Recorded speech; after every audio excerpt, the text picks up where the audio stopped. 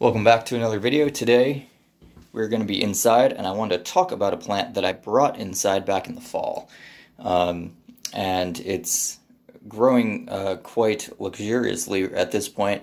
And this plant is actually in full bloom right now, so uh, let's talk about it. Okay, so here we have a uh, beautiful plant. It's in the nightshade family.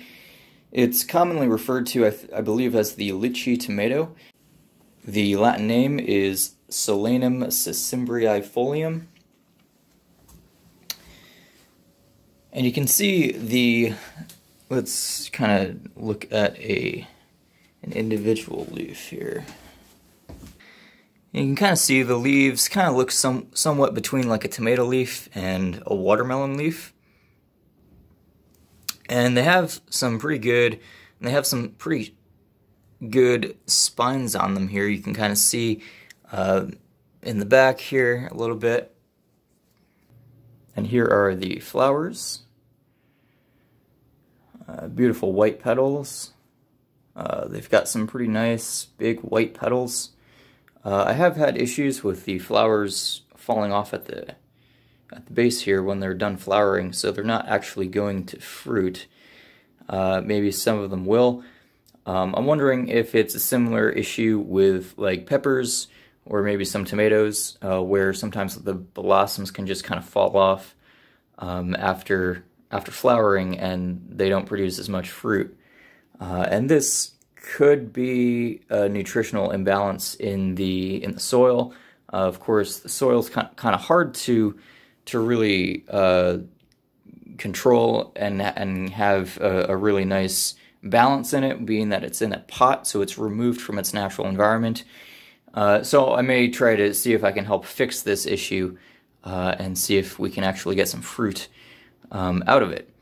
So this plant I started last February, I believe, and I germinated the seeds in a um, kind of like an, a mini incubator. I germinated them in a wet paper towel that was inside a plastic container uh, to kind of help control the heat and humidity. Uh, and under, uh, and I, I uh, put that over top of a, of a, a heat mat.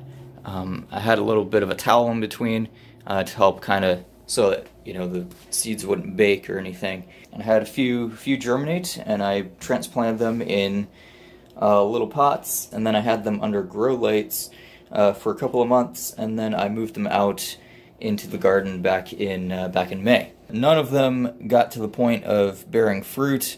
Uh, part of that was on me. I uh, ended up getting pretty busy throughout the summer. wasn't taking care of the plants, uh, or I wasn't around uh, quite so much to take care of the plants.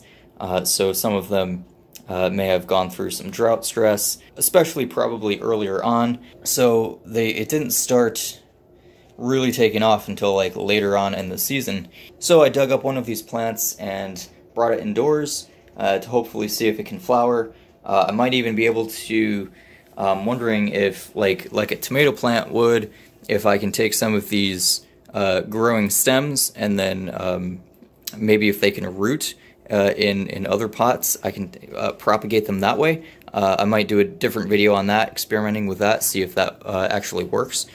I also want to note that we uh, that this is a strawberry planter. Generally what you do is you'd fill it up with soil and then you'd stick like strawberry plants or maybe flowers. Um, doesn't, doesn't have to be strawberries, but you can uh, uh, stick them in, in each of the holes on the side of the pot, uh, including uh, at the top as well, and you can uh, grow plants that way. I've never really used it like that. This pot just happened to be large enough for uh, the root base that I had uh, for this plant, um, so that was what I had available, that was what I used.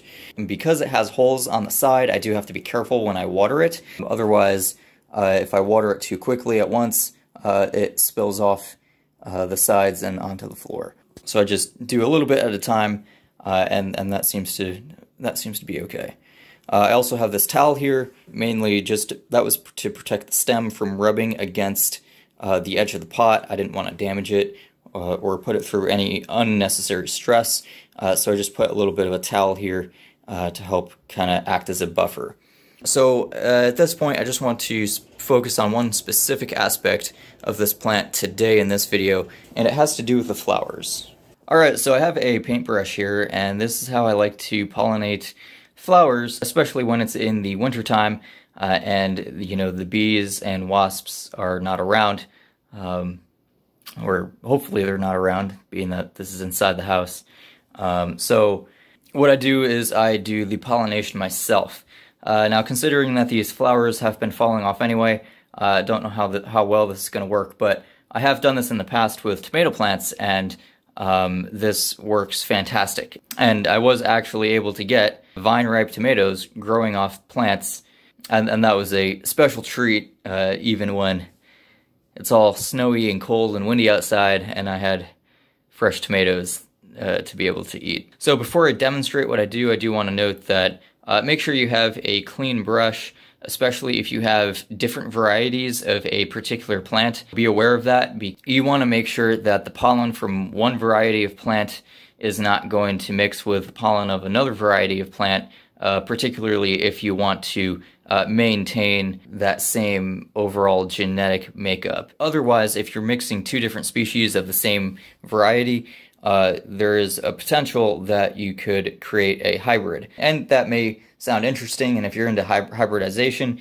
uh, maybe that's something you do. But if you want to maintain the genetics in a particular variety, uh, you want to make sure that you have a clean brush. Uh, make sure, you know, uh, if, if you did pollinate a different variety, make sure, you know, you, uh, you wash it out, you dry it out before you start pollinating a new variety. So, so with that, what I do here is I just take uh, take the brush and I just kind of um, I just kind of move it around on the uh, uh, on the anthers.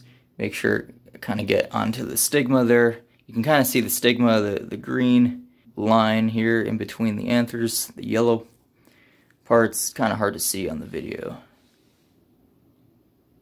Um, but yeah, this this is the green. And then the, these are the uh, the anthers around it. And so you want to take the, the pollen from the males and you want to make sure you get it on the, the female stigma.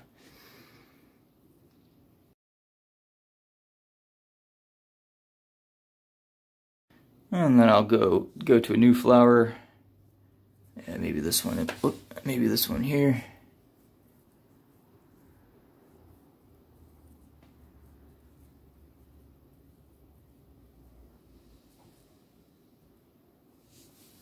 And maybe I'll get this one down here too.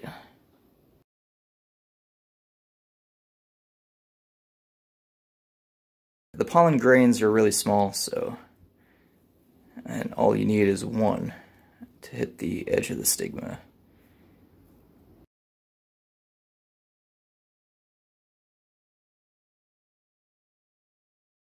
The flowers, by the way, also have a nice floral smell it's not super overpowering, but it, it is it is uh, it, you can you can tell it's in the air. It does have a really nice sweet floral aroma.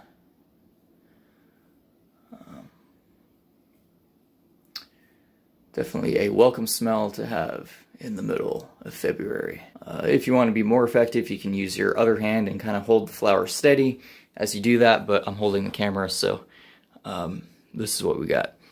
All right, there we go. Litchi tomato. I've been watering this plant fairly regularly, usually once a day, once every other day, sometimes twice a day. It's good to check the soil. Um, if it starts drying out, you want to maintain an, an equal balance. You don't want it to be drenched, drenched right? Because you don't want the soil to be going anaerobic on you, but um, and you don't want it to dry out because then uh, you know, the microbial life and, and, and, the, and the plant roots can become stressed. Uh, I have also just been using like some juices from like cooked vegetables, you know, after the liquid has cooled that I cook them in. I'll help kind of supplement watering with that and uh, just it helps add like some various nutrients and, and things like that into the soil to help kind of balance out some of the nutri nutrition. You know, for example, if you cook like beans or something like that, like for example, like kidney beans that I've cooked that I've grown in the garden, and I cook those, and the cooking water uh, may have uh, some residual protein in it from uh, from from the beans being cooked in there. Uh, and protein, of course, contains uh, nitrogen, and and that can be a nice fertilizer. But beans also contain some potassium, calcium, magnesium, and these other minerals that the plants can use uh, to optimize uh, growth potential. Uh, we do also have a little bit of aphid pressure. Pressure. Uh, it's only on specific leaves. I don't know how well how well you can see it. Uh, but on this leaf here, it's a little bit more curled than the others, and you can kind of see some of the aphids, uh, the some of the aphids on there. They're not all over the plant. Um, I'm not particularly worried about. I've found some ladybugs in the house, so I've uh, I've also just been putting a couple of ladybugs on here. But other than that, they seem to be doing pretty well. Um, and photosynthesizing a lot a lot better than uh, what I expected. I you know generally I I would have anticipated that the leaves would have been a lighter green even this uh, even into Feb February. And in some cases, they are a little uh, lighter green. I mean, that's fresher growth too, though. But I may try to do a video on making like a foliar fertilizer kind of thing to help kind of give some supplementation to uh, the nutritional needs of this plant. Uh, see if we can take care of some of those aphids and see if we can prevent uh, so many of these flowers dropping off after they after they flower. So uh, with that, I uh, hope you enjoyed this video. Hope you got something from it, and uh, I look forward to seeing you in a future video. All right, take care.